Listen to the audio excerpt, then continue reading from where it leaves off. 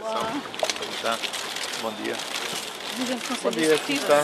Prazer. É a equipa que dirige a Olá, como escola. estão? Prazer, Olá. Bom dia. Olá, vamos agora está? Está bom?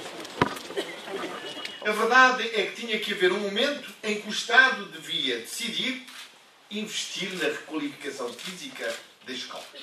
Nós estamos neste preciso momento, no ano 2009, a fazer o maior investimento de sempre nos centros escolares.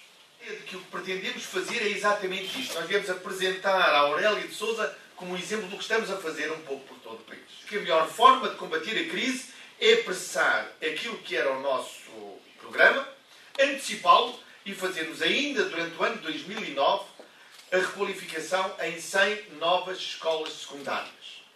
Para que essa requalificação possa dar oportunidades de emprego a portugueses, que se querem naturalmente empregar, mas também possa dar oportunidade de emprego e de atividade a muitas pequenas e médias empresas um pouco espalhadas por todo o país.